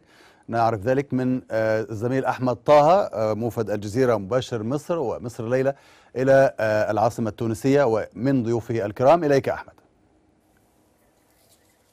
أشكرك شكرا جزيلا زين وأحيي مشاهدي الجزيرة مباشر مصر من العاصمة التونسية تونس في إطار تغطية الجزيرة مباشر مصر لأول انتخابات رئاسية بعد انطلاق ثورة الياسمين في بداية العام 2011 كما ذكر التقرير وأيضا كما ذكر زميلي زين في مقدمته عن هذه الفقرة بأن النسب أصبحت متقاربة لكن هناك اتفاق على أن هناك جولة إعادة ستكون بين المنصف المرزوقي الرئيس الحالي لتونس وبين الباجي قائد السبسي زعيم نداء تونس والذي أتى في صدارة المشهد السياسي بالنسبة للانتخابات التشريعية.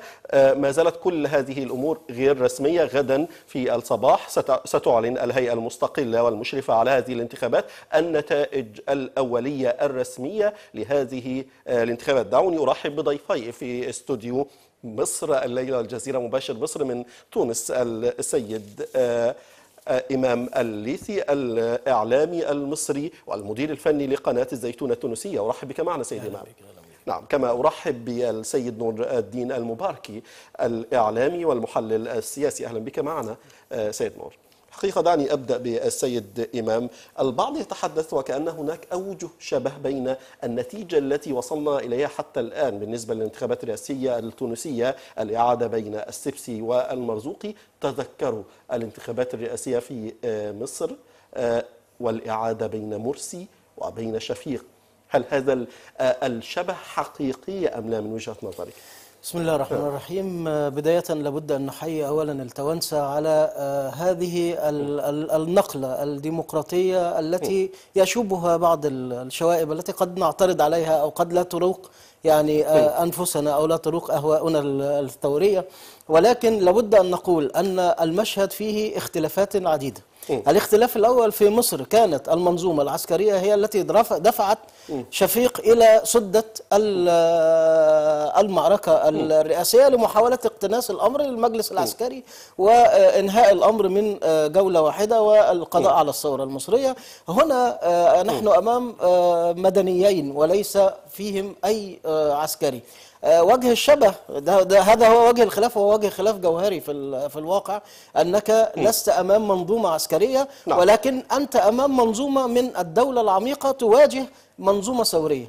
هنا آه، هناك فرق شاسع. في في هذه النقطة دعني أذهب للسيد نور الدين المباركي. سيد نور هل آه، الإعادة بين السبسي وبين آه، آه، المرزوقي هي إعادة بين الثورة واللا ثورة من وجهة نظرك أم لا؟ أم هل هذا يعني فيه مبالغة؟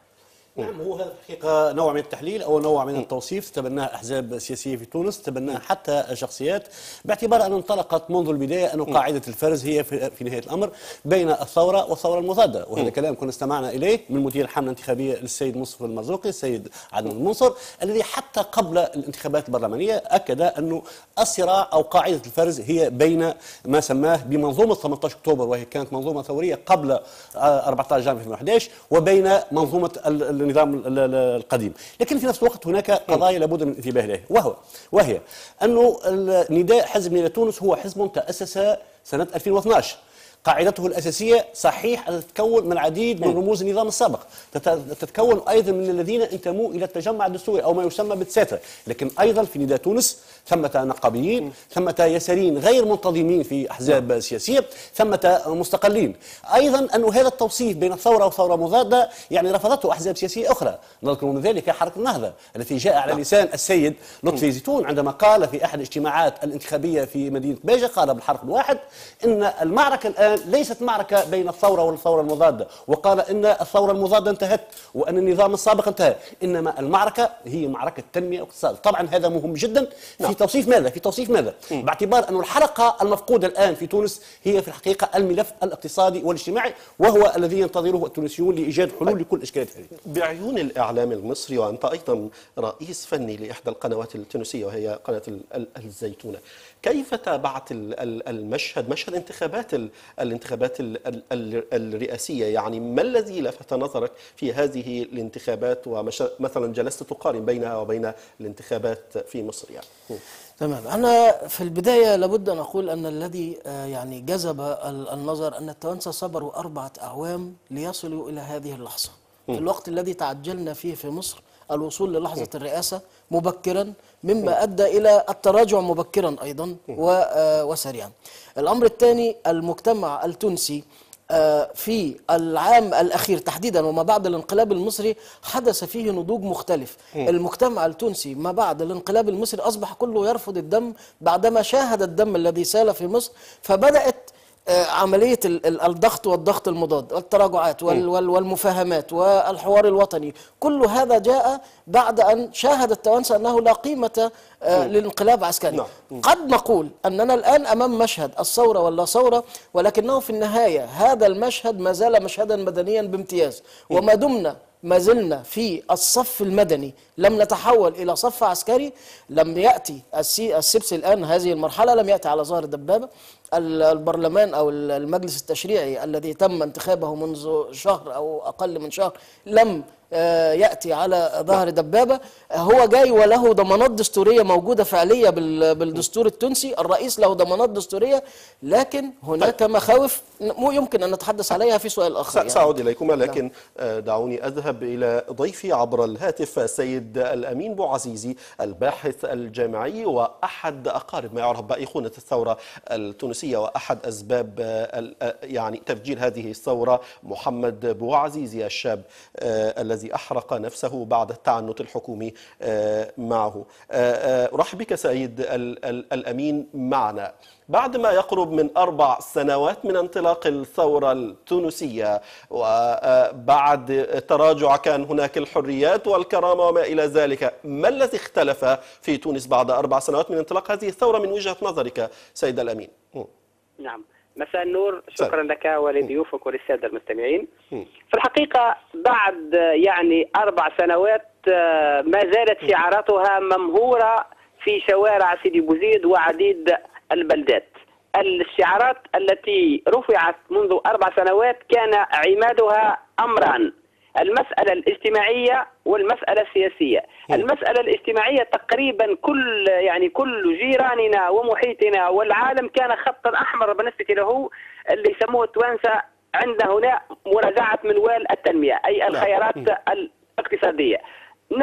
دعنا يعني نركز على المسألة السياسية. على مدار أربع سنوات يعني تقريبا عرفت البلاد ما كنت أسميه طوفان من الحريات السياسية. التنظم التعبير يعني إلى حدود ال- الانفلات. لكن للأسف الانتخابات التي جرت على مدار يعني مرتين المرة الأولى لكتابة الدستور. الدستور كنا نقول كنا نصرخ نقول الشعارات المكتوبة في الشارع هي مضمون يعني الدستور. لكن للأسف النخبة السياسية التي ربما يعني نعتبرها سقط على على المشهد ماذا فعلت؟ كتبت دستور تحت ضغط التنازع. بين الإيديولوجيات يعني كانت.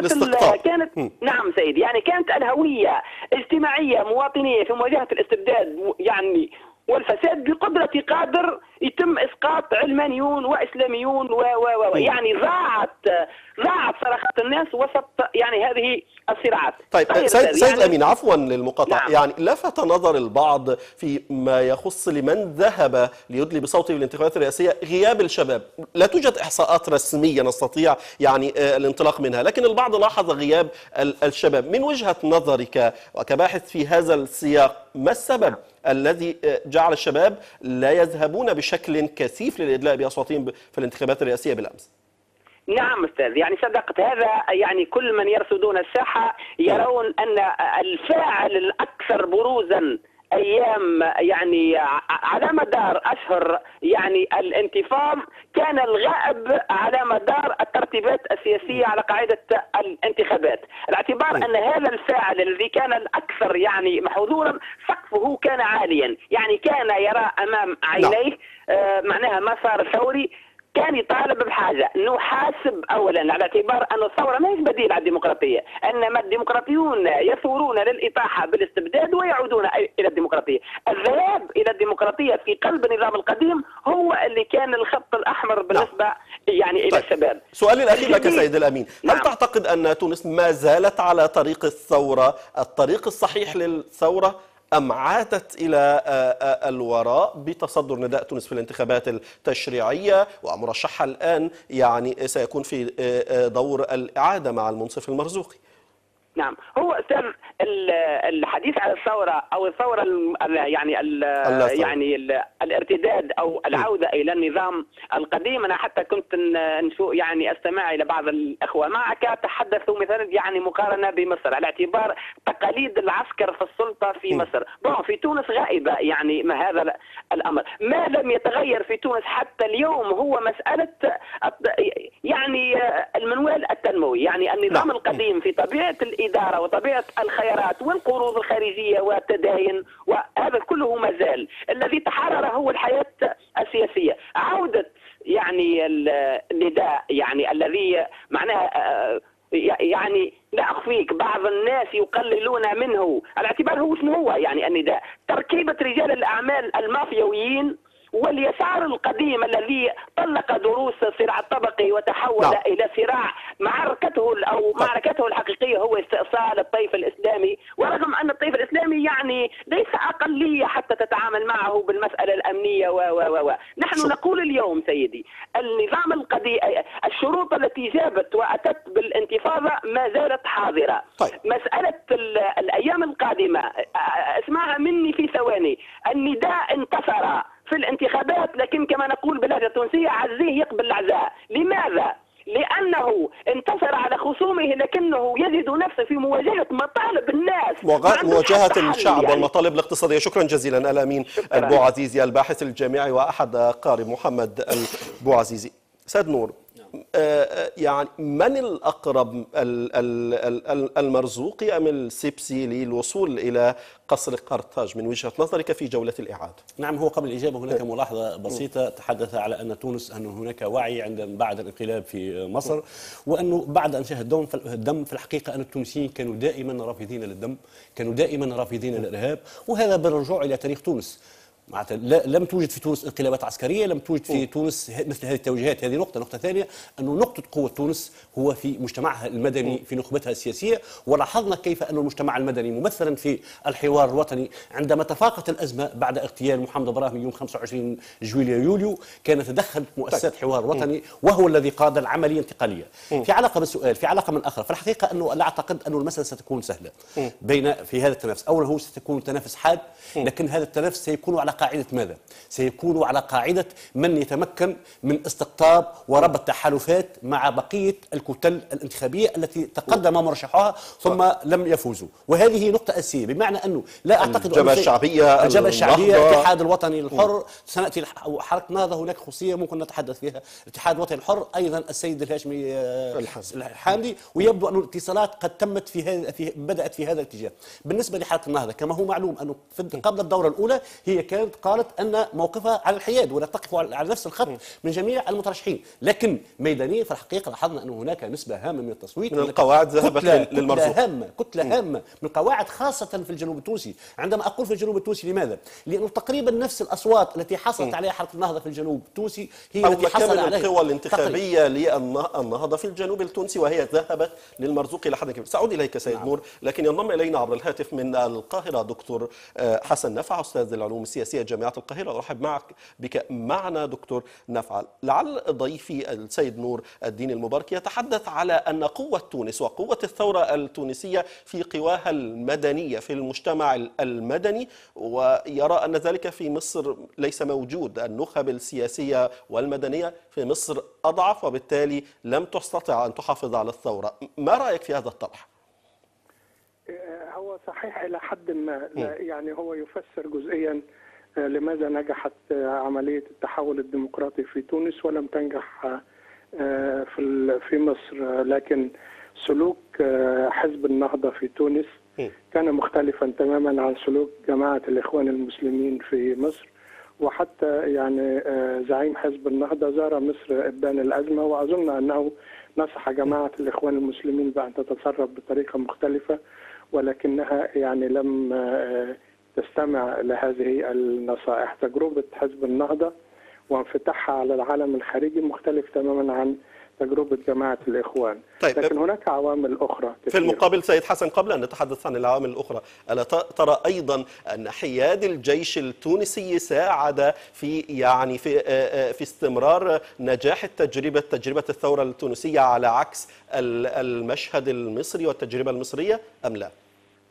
آه، طبعا موضوع الجيش أيضا أحد العوامل المختلفة ولكن آه، دور الجيش في السياسة المصرية آه، تاريخيا مختلف تماما أيضا عن دور الجيش في ال- السياسة التونسية. ولو كانت هناك أحزاب مدنية قوية يعني أو يمكن أن تتشكل لتحل محل جماعة الإخوان أو تحظى بثقة الناخب مثل حزب النداء مثلا الذي فاز في الانتخابات الأخيرة لما كان تدخل الجيش امرا ممكنا وبالتالي آه، الجيش إما بدافع آه، الرغبة في السلطة هذا إذا افترضنا أنه كان حريصا على الوصول إلى السلطة أو بدافع القلق على أمن البلاد لأنه ليست هناك قوة مدنية تستطيع أن توازن جماعة الإخوان المسلمين.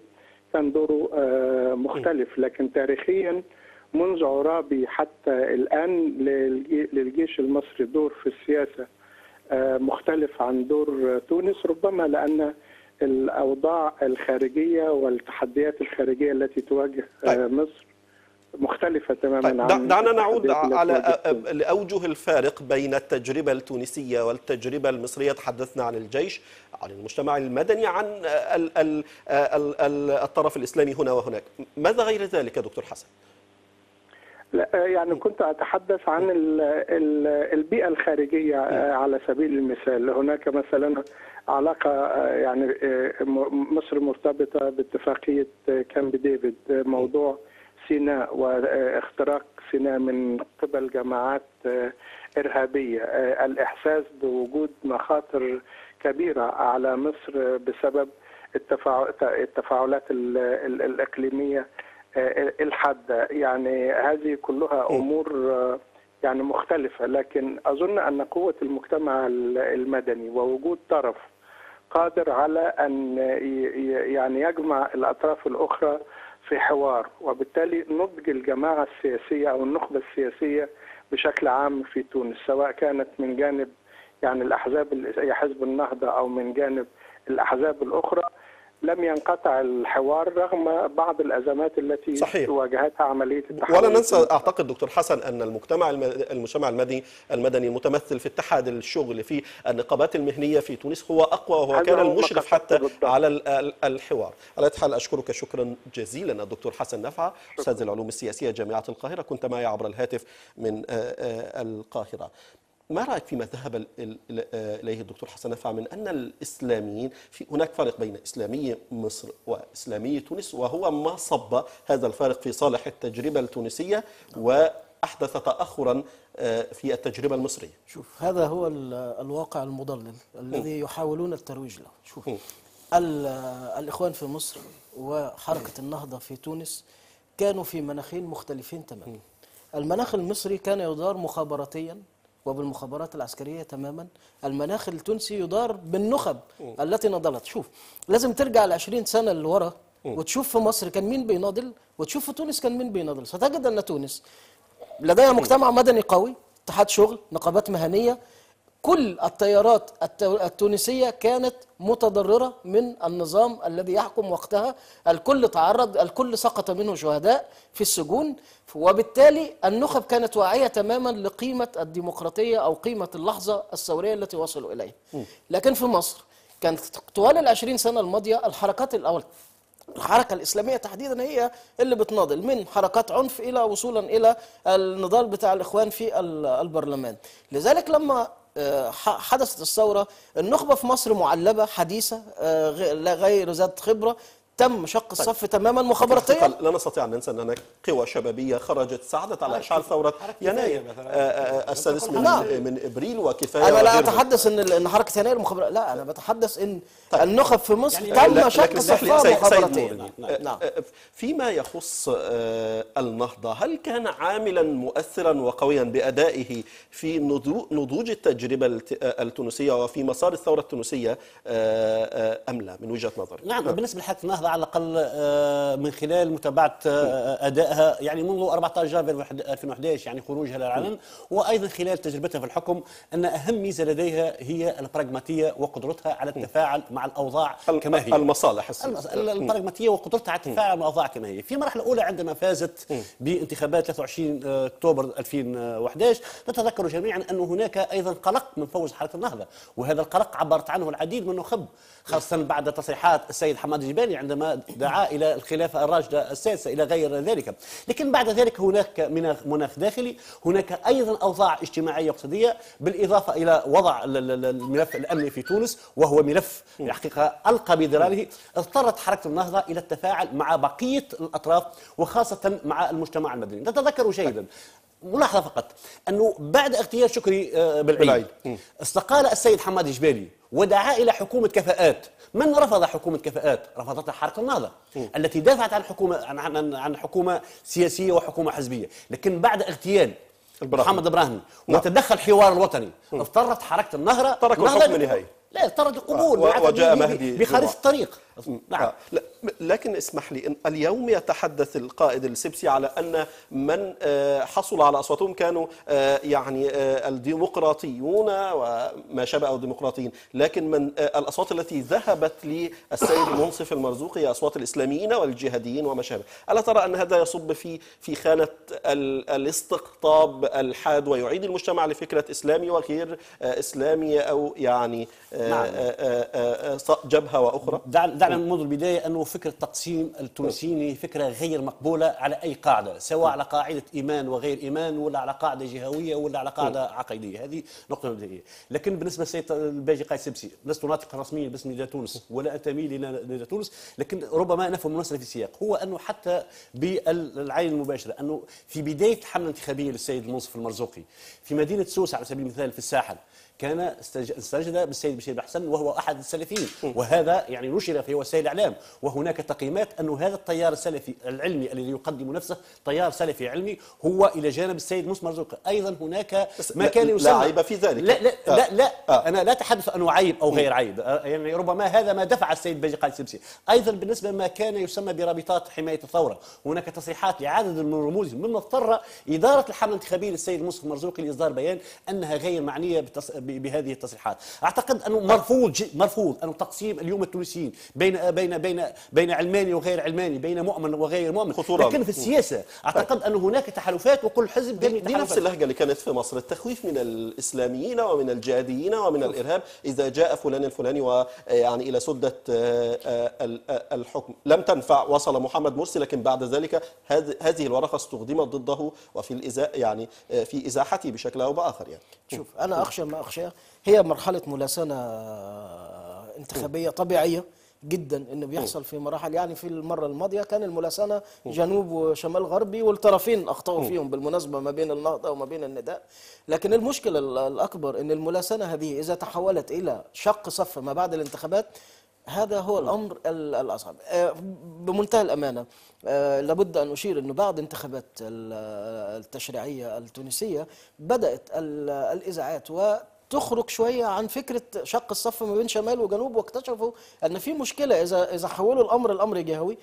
أيضا أظن أن التوانسة واعيين بدرجة كبيرة إنه خلال المرحلة القادمة وبعد انتهاء المرحلة الانتخابية وال والملاسنات والاتهامات وال وال وما شئنا أن نقول في هذه المرحلة سيعود التوانسة مرة أخرى إلى بناء تونس.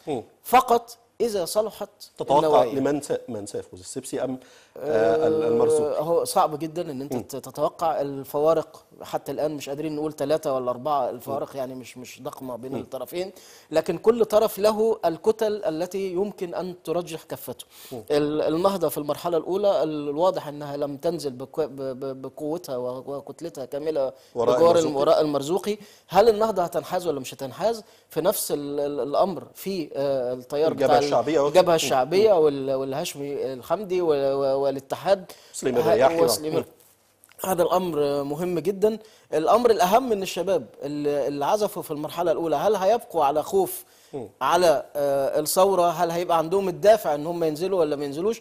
ودي حاجة كانت غريبة إنك تجد اليوم إن متوسطي الأعمار و... وده حاجة عايزة تدرس فعلا اجتماعيا. متوسطي الأعمار وكبار السن هم في الطابور والشباب مش موجود. شكرا جزيلا إمام الليثي الإعلام المصري المدير الفني لقناة الزيتون التونسية. أشكرك شكرا جزيلا. كما أشكر ضيفي السيد نور الدين المباركي الإعلامي والمحلل السياسي. إذا مشاهدينا صباح الغد. ستعلن النتائج الأولية للدورة الأولى أو الجولة الأولى للانتخابات الرئاسية التونسية. الجميع هنا يتحدث على وصول وصول بالفعل السبسي قائد السبسي من نداء تونس والمنصف المرزوقي الرئيس الحالي إلى آه، إلى جولة الإعادة، من سيفوز الحقيقة؟ هذا هو السؤال الصعب، يعني عندما سألت آه، كثير من الناس لم يستطيعوا أن يجيبوا من سيفوز في جولة الإعادة، على اية حال غد يعني أيام قليلة قبل نهاية الشهر القادم سنعلم من هو رئيس تونس الذي سيصل إلى قصر قرطاج، لكن عودة الآن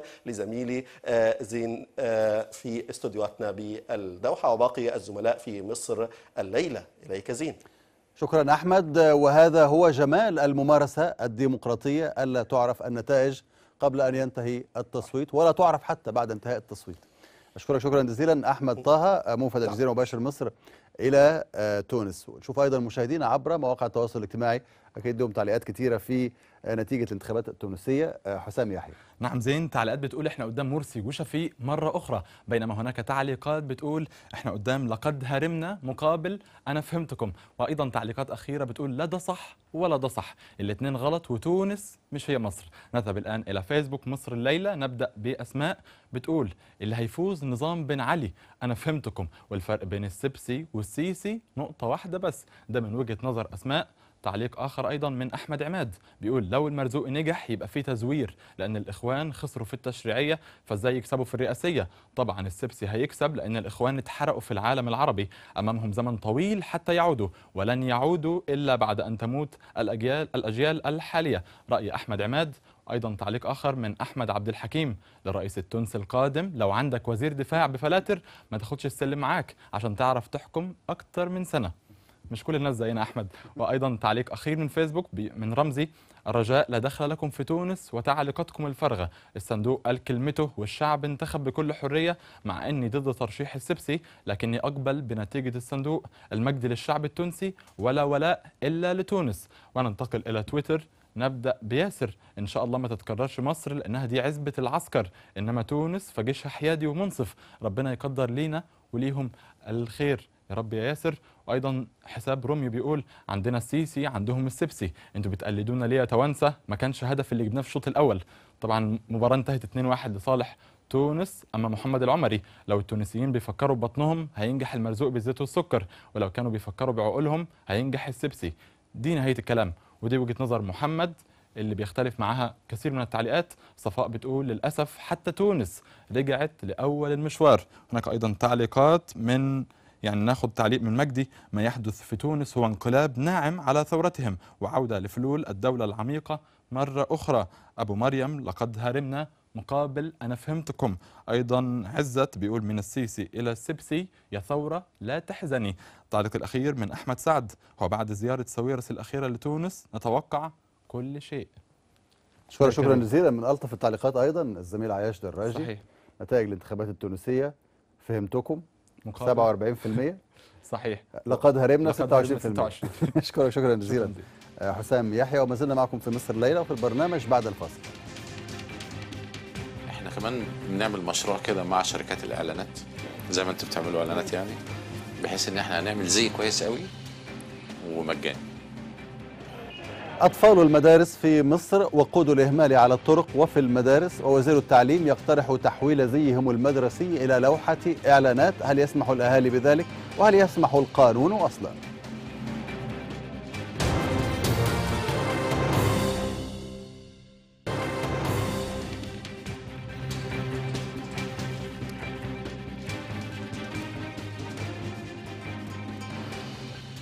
الزي المدرسي لطلاب مصر سيتحول إلى لوحة إعلانات. وزير التربية والتعليم كشف عن ذلك وقال إنه يجري مفاوضات مع بعض شركات القطاع الخاص لتوفير الزي مجانا لحوالي 18.5 مليون طالب فيما يقارب 50 ألف مدرسة على مستوى الجمهورية مقابل وضع إعلان تجاري على الكتف أو مكان آخر بعيدا عن الصدر الذي سيحمل شعار المدرسة التي ينتمي إليها الطالب وفقا لما قاله الوزير في حديثه التلفزيوني أمس مع لميس الحديدي. وكعادة كل المسؤولين في مصر أكد الوزير أنه ورث تركة ثقيلة وأعباء متراكمة على مدار ستين عاما لكنه وعد بأن التغيير سيحدث خلال ثلاث سنوات مشيرا إلى أنه يحتاج إلى 100 مليار جنيه حتى تقف العملية التعليمية على قدميها. لكن هل من حق أحد أن يضع إعلانات تجارية على أكتاف الطلاب أو صدورهم؟ وهل المواثيق الدولية التي وقعت عليها مصر تسمح بذلك؟ وهل يسمح الأهالي بذلك؟ في أمل في التعليم في مصر يعني لم يكن لقاء تلفزيونيا وإنما كان وفق مراقبين محاولة من وزير التربية والتعليم محمود أبو النصر للحصول على صك غفران وعفو عنه من الإعلامي لميس الحديدي بعد الضغوط التي مورست عليه بسبب تزايد حالات وفاة الأطفال داخل المدارس وآخرها حادث تفحم الطلاب في حافلة البحيرة. عمرك ما فكرت تستقيل كمسؤول كتحمل مسؤولية سياسية عن كل ما يحدث لهؤلاء الأطفال؟ ممكن نخلي الرد على السؤال ده آخر اللقاء. ليه يا فندم؟ لأن حضرتك اللي هتردي. لكنه استحوذ شيئا فشيئا على إعجاب المذيعة بعد تأكيده لها سيطرته على ما تسمى مدارس الإخوان بعد تحريض واضح منها. أبرز ما تضمنه الحوار هو حديث الوزير عن فكرة يراها مبتكرة وجيدة تتلخص في الاستعانة بالقطاع الخاص لتوفير زي موحد لتلاميذ المدارس الذي يبلغ عددهم أكثر من 18 مليونا مقابل وضع إعلانات عليها. إحنا كمان بنعمل مشروع كده مع شركات الإعلانات زي ما أنتوا بتعملوا إعلانات يعني بحيث إن إحنا هنعمل زي كويس قوي ومجاني. هايل. هيبقى في إعلان على الكتف كده ولا حاجة لكن لا من غير يا فندم إعلان عن كتف ما إحنا لو دخلنا القطاع الخاص شريك في هذا الأمر الموضوع ما هيتحل أنا بقول لحضرتك ما. يعني إحنا دلوقتي بنتفاوض مع ما صعب شركات. إن إحنا نحط إعلان على كتف ال- الطلبة. ما هو مش عايز أحطه على صدره لأن هنحط البادج بتاع المدرسة على صدره بس يعني ما أنتوا بتعملوا إعلانات. الفكرة تحول ملابس التلاميذ إلى أزياء شبيهة بملابس لاعبي الكرة لكن الفارق أن اللاعبين يحصلون على أموال بينما لن يحصل التلاميذ على شيء. ليجدوا أنفسهم ما بين الموت في المدارس بفعل الإهمال أو تحويلهم إلى سلعة تجارية. وفي نهاية الحوار يسأل الوزير لميس الحديدي باهتمام عن رأيها فيما قاله. وهل لا زالت عند مطالبتها له بتقديم استقالته أم تراجعت عن رأيها؟ وهو ما حدث بالفعل ليحصل الوزير على صك البراءة من الإعلام ويضمن استمراره في منصبه. أنا بشكرك شكرا جزيلا حقيقي بتمنى لك التوفيق. يعني عايزين والدعم نستقيل بقى؟ يعني اتفضل خليه يعني ده قرارك بصراحة يعني. لا لا إيه حضرتك أنت يعني. لا ده قرار حضرتك أنا ما أقدرش أقول أنا عندي إحساس يعني هو الهدف المسؤولية. ان لا أنا لما طبعا. أستقيل آه، الحوادث دي هتقف؟ يعني ده أنا خدتها مثلا كانت فيلل أول ما خدتها كانت فيلل دلوقتي بقت عشش. ما هو حضرتك بقى وأنت مقبل طيب، على هذا. العمل كنت عارف بقى أنا عامل عارف إيه وأدي إحنا إحنا جنود وبنحارب إحنا في حرب. خوف ربما لا يوجد ما يبرره. بعد أن أجبر محافظ الإسماعيلية مذيعا آخر على حلق شعر رأسه بعد فشله في توقع إقالته. وتمت حلاقة الرأس زلبطة ذلك بأن محافظ الجيزة باق لا ريب في إقالته أو إبعاده. أه أنا قلت محافظ إيه؟ هو محافظ إسماعيلية قلت محافظ إيه بقى عشان ساعات؟ الجيزة؟ ما فرقتش كتير. ولمناقشة هذا الموضوع مش مش الحلقة طبعا موضوع الزي المدرسي والإعلانات اللي على الكتف. أرحب بضيفي في استوديو مصر الليلة الكاتب الصحفي الأستاذ محمد منير. أهلا وسهلا بيك. أهلا بيك. ترضى ابنك يحط زي يحط إعلان على كتفه وهو رايح المدرسة؟ بعيدا بقى عن التعليم خالص يعني لكن أنت كأب ترضى ابنك يحط حاجة إعلان على كتفه في زي المدرسة وهو رايح كل يوم أنا أنا أنا ليا بنت واحدة فاضلة في التعليم. آه. ال- ال- واحدة في الجامعة وواحدة متخرجة ودي فاضله في التعليم. ربنا يخليها. آه أنا عندي مشكلة إن أنا كمان بوديها المدرسة وأنا مش راضي أصلا آه. على هذه المدارس. وليا قصة شهيرة مع وزير التربية والتعليم وقصة معروفة في العام الماضي.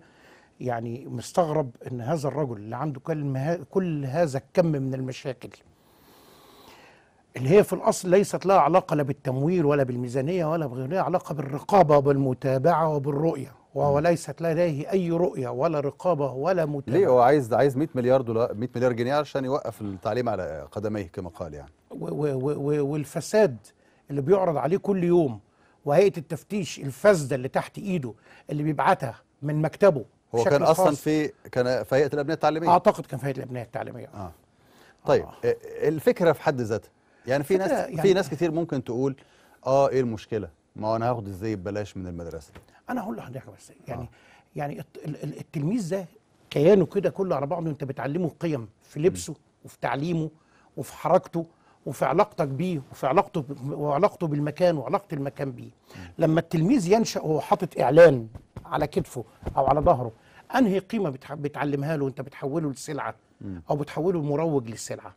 ما بعد كده بقى التلاميذ عندها وقت فاضي بعد الظهر ما نسرحها بمناديل آه، كلينكس تجيب دخل للدولة وتجيب دخل لأسرتها.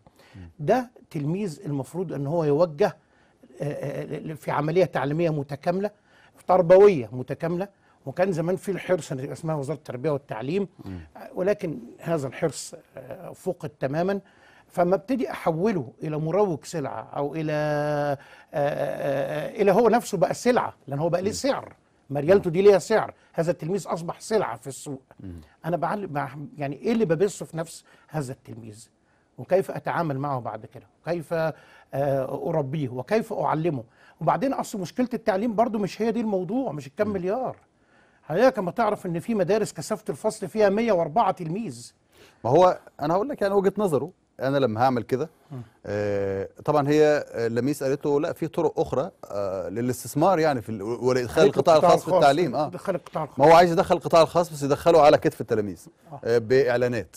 الإعلانات دي هتجيب دخل الدخل ده هيخل هيسمح للمدارس إن هي تدي الزي ببلاش للطلبة وفي نفس الوقت هتاخد المدارس دخل تقدر تعمل بيه حاجات تانية. يا أستاذ زين في مشكلة كبيرة في التعليم ليست لها علاقة حتى بالكثافة.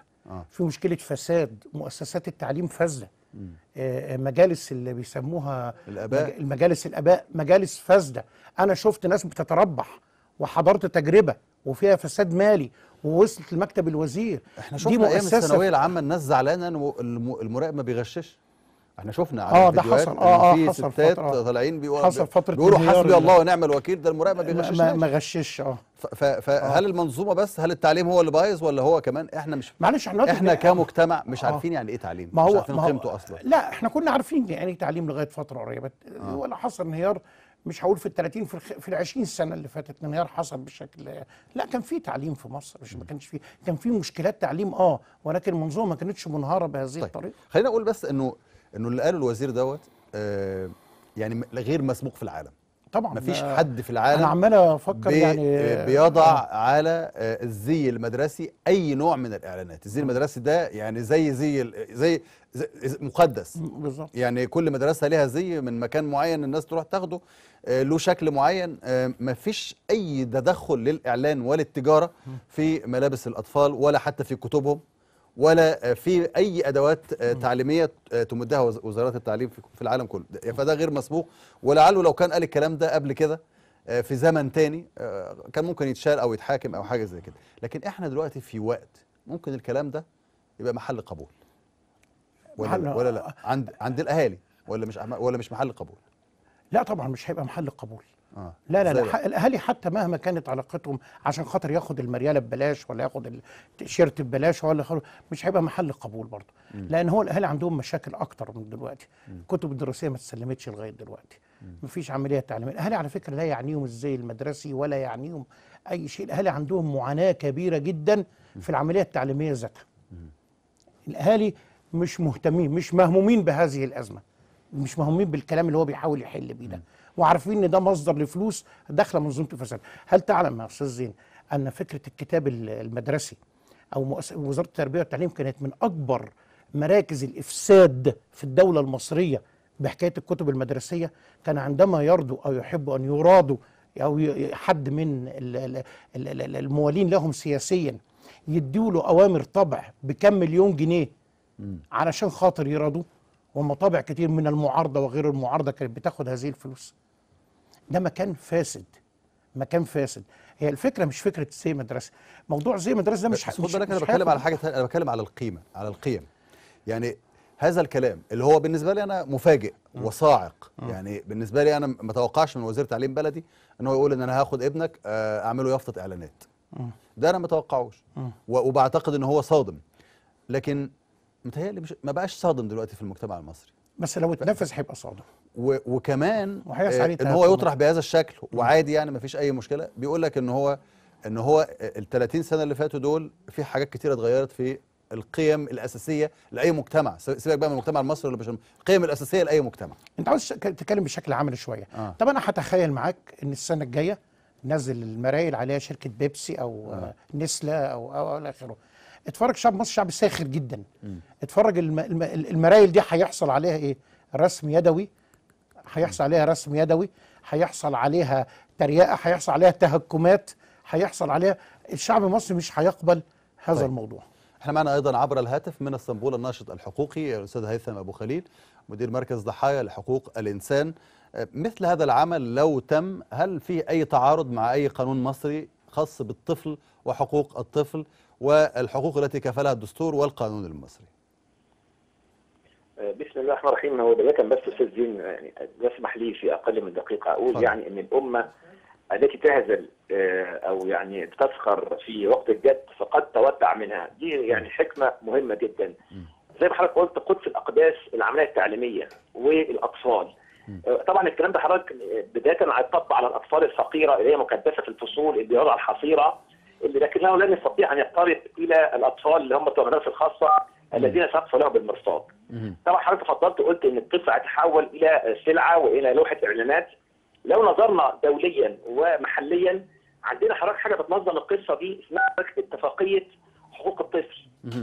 رقم 26 لسنة 89 وأدرجت حضرتك كقانون في القانون الدولي عام آه، 90 وهي تعتبر ميثاق دولي يحدد حقوق الأطفال المدنية والسياسية والاقتصادية والثقافية وفي لجنة حضرتك الأمم المتحدة اسمها لجنة حقوق الطفل بتراقب تنفيذ هذه الاتفاقية على مستوى العالم. يمنع الاستغلال الاقتصادي نصا على الاستغلال الاقتصادي للأطفال. آه، فإحنا النهارده دي بداية استغلال اقتصادي للأطفال. طيب إ- إذا وافق إذا وافق الأهالي إذا وافق الآباء ما في أطفال كتير زي اللي بيشتغلوا في السينما واللي بيشتغلوا في أماكن كتير واللي بيعملوا إعلانات. ما بي... في ناس بتعمل إعلانات مثلا أطفال. إذا وافق إذا وافق الأهالي. حضرتك ال- ال- النص كان صريح حضرتك آه. في المادة 17 وقال إن هو يحرم الاستغلال الاقتصادي. ما قالش بقى حضرتك موضوع الأهالي. تاني حاجة ده بيفتح عندي باب اصل هو النهارده لو هو موضوع موضوع آه، تمويل أو موضوع فلوس يبقى خلاص ممكن حوش المدرسة اعمله قاعه افراح. مم. ممكن حضرتك النهارده الكتاب المدرسي عشان بي- بيكلف الميزانية قد كده أحط عليه اعلان باكو شيبسي. ممكن بكرة المدرس كمان عشان الكادر بيزعلني ألبس المدرس تيشيرت. فكده حضرتك بيضرب آه، حاجة اسمها قيم وأساسيات المجتمع. هذه نقطة، النقطة الثانية يا أستاذ زين أن الحداية ما ترميش كتاكيت، الموضوع زي ما حضرتك قلت متناغم مع موضوع ال- ال- اللي يتصل يت- يدفع واللي يتكلم كمان أو يستقبل يدفع، موضوع أن النهاردة بيع كل شيء في مصر، موضوع ال- الفلوس، موضوع أن في وراها حد هيعمل بيزنس من هذه ال- ال- ال- الإعلانات، هذه هي القصة استغلال استغلال المنشآت التعليمية في آه، آه، أغراض اقتصادية. دي جريمة. جريمة للتاريخ جريمة للبناء المجتمع السوي. الطفل النهارده حضرتك هيتلقى زي العملية التعليمية بتاعته. طبقا لحقوقه إن هو يعيش في جو سوي وينبت آه، بطريقة سوية أنه ليس لوحة إعلانات أو إنه آه، يعني ماشي بحاجه هو ليس حر فيها. أشكرك شكرا جزيلا أستاذ هيثم أبو خليل الناشط الحقوقي مدير مركز ضحايا حقوق الإنسان. آه، الحقيقة ما الوزير يعني يصدم أي ضمير الحقيقة ويعني يستغرب المرء ويستغرب كثيرون كيف يمكن لشخص يحمل هذه الأفكار. أن يكون في مسؤول عن العملية التعليمية في مصر. لميس عندها حق شكلها. آه، حسام يحيى آه، مشاهدينا إيه رأيهم في هذا الموضوع؟ زين معظم التعليقات كانت بطعم المدفعية الثقيلة في الواقع. نبدأ الآن من فيسبوك مع ناجي. بيقول يعني ممكن تلاقي العيل ماشي وعلى ظهره فردة جزمة أو حلة أو طقم صيني. يعني ده كلام ناجي وأيضا سارة عادل في ذات الاتجاه بتقول طبعا فكرة جميلة تدل على استغلال الإخوان للأطفال الأبرياء. تعليق آخر من مناع أهي سبوبة جديدة وبرضه وزير الانقلاب بيقلب أكل عيشه والرزق بيحب الخفية. طبعا مش خفية ده في حوار على أحد القنوات الفضائية. محمد هادي فكرة جميلة وجديدة. يا ريت كمان كل شركة تبقى مسؤولة عن صيانة مجموعة مدارس في مقابل إعلاناتها على المدرسة. نذهب الآن إلى تويتر نبدأ بياسر. يعني لو الزيت قطع مثلا نروح نوديه لشركة الإعلانات؟ ده كان أحد التعليقات اللي على الصفحه يعني ياسر بيقول ما فيش مشكلة بس يطبق على كل المدارس بلا استثناء التجريبية والخاصة واللغات والأمريكان والآي جي. وأيضا تغريدة أخرى من رمضان لازم الطلبة تمشي في نص الشارع وفي الأماكن الظاهرة. طبعا ده لو إعلانات غالية شوية يعني أما سامح بيقول يعني ابني يبقى نازل الصبح ألبسه تيشيرت مرسوم عليه ثلاث بقرات وده يبقى رايح مدرسة ولا زريبة. ده أكيد رايح مدرسة البقرة الضاحكة. أيضا تعليق آخر أو تغريدة أخرى من آدم إيه المشكلة؟ في ناس غلابه كتير معهاش تجيب ملابس جديدة لأولادها. أيضا هناك تعليقات أخرى من أحمد مثلا بيقول عشان يبقى طالب بطعم الجبنة وطالب بطعم الكباب طبعا حسب الإعلان. أيضا تعليق آخر من رمضان بيقول إيه المشكلة؟ طيب دي التعليقات اللي معانا. شكرا, شكرا جزيلا حسام يحيى وأشكر ضيفي في الاستوديو الكاتب الصحفي الأستاذ محمد منير. شكرا جزيلا لك. وبهذا نصل إلى ختام هذه الحلقة من مصر الليلة مشاهدينا وتابعنا فيها هذه الموضوعات. وهي تمهد بذلك للانشقاق ولضرب الاستقرار في هذا الوطن. شيخ الأزهر يعقد مؤتمرا يطالب الوعاظ بالتصدي لمظاهرات 28 نوفمبر وما سماها بفتنة رفع المصاحف والسلطة في حالة استنفار وتعلن تدابير استثنائية. فلماذا التهويل من مظاهرات لن يشارك فيها معظم حلفاء الإخوان؟ يصر أصحابها على أنها ستكون سلمية.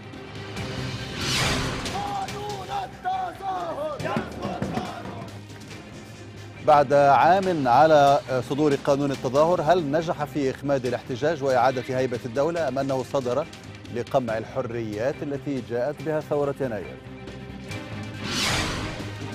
نتائج أولية غير رسمية لانتخابات الرئاسة في تونس ترجح جولة إعادة بين المرزوق والسبسي والإقبال بلغ 64% والجزيرة مباشر مصر تسلط الضوء من هناك على ما تبقى من الربيع العربي.